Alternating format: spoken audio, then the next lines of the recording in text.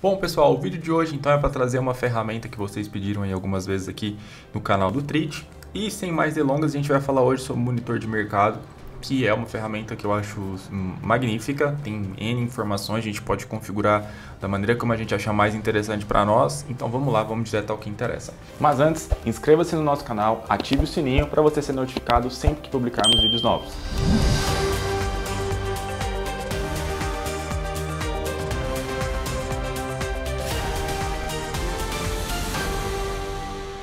Solicite o trade na sua corretora. Eu sou o Eder Santos e você está no canal do Trade. Não se esqueça de deixar as suas dúvidas nos comentários e bora pro vídeo. Como que eu faço para acessar o monitor de mercado? Super simples, tá? Você vai clicar aqui em cotações, em seguida vai aqui em outros e aí tem a opção aqui, ó, monitor de mercado. Perfeito. Feito isso, vai abrir essa janela aqui para você. Eu vou encaixar ela, tá? Aqui dentro do meu trade, vou encaixar ela aqui, ó. E vou dar aqui dois cliques nela para ela ficar grande. E aí, então vamos lá, vamos falar um pouquinho sobre essa, essa, essa ferramenta aqui que a gente tem agora para vocês. Aqui você consegue acompanhar de forma super visual uma carteira que você tem, um índice que você deseja acompanhar, entre outras informações. Como que eu faço para filtrar isso? Super simples. Clica nesse botãozinho aqui, ó, seleção de papéis, clica para baixo. Aqui tem índice, a gente está filtrando pelo Ibovespa. Eu vou filtrar aqui só pelo IBXL, por exemplo. Aí a gente tem essas ações aqui. Vou filtrar agora pelo IFIX, que é os fundos imobiliários. Então, a gente vai ter todos os fundos imobiliários aqui, obviamente, cada um representando aqui o seu, o seu filtro, o filtro que a gente colocou. A gente está usando o filtro aqui, que é esse filtro, ó, volume. Então, a gente está filtrando por volume. Vamos filtrar por variação diária. Aí mudou. A variação diária, o maior é 2,13%, que é esse fundo aqui, e o menor, ele está aqui embaixo e assim por diante. Quando eu clico com o botão direito, eu também tenho essas opções, que são as mesmas opções que eu tenho aqui em cima, tá? Então, seleção, seleção de papéis. A gente está pelo IFIX, né? Eu vou colocar aqui, ó, pelo meu monitor de cotações. Vamos colocar aqui por carteira. Então, tenho essas ações aqui, filtradas. Como eu falei, ele está filtrando do maior para o menor, né? Então, menos 4% aqui é o maior. Vou clicar com o botão direito e a gente vai vir aqui, ó. É, ordenação crescente.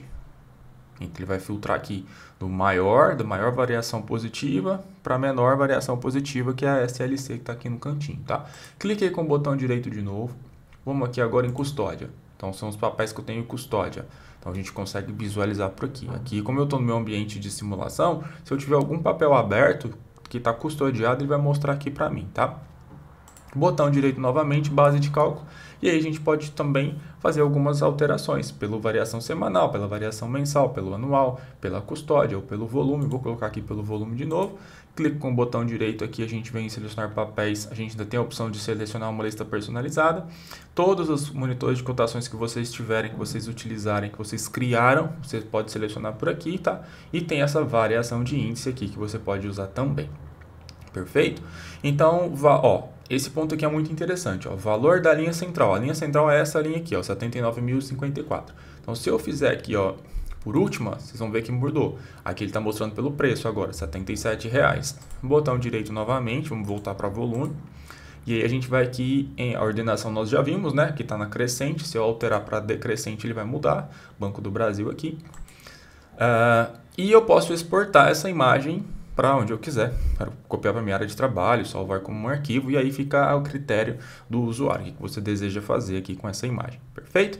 Então a gente tem essa ferramenta aqui agora que você pode configurar do jeito que você achar mais interessante para você, que eu acho super bacana, super interessante. Quando você passa o mouse aqui sobre qualquer ativo, ele mostra ó, fechamento, abertura, máxima, mínima, última, negócios, volume, volume financeiro, variação e amplitude.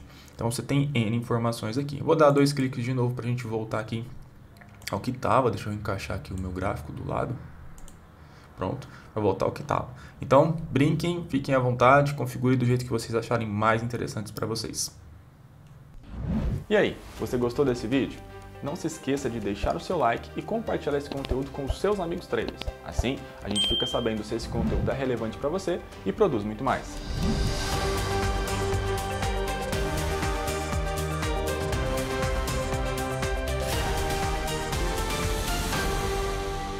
Solicite o trade na sua corretora.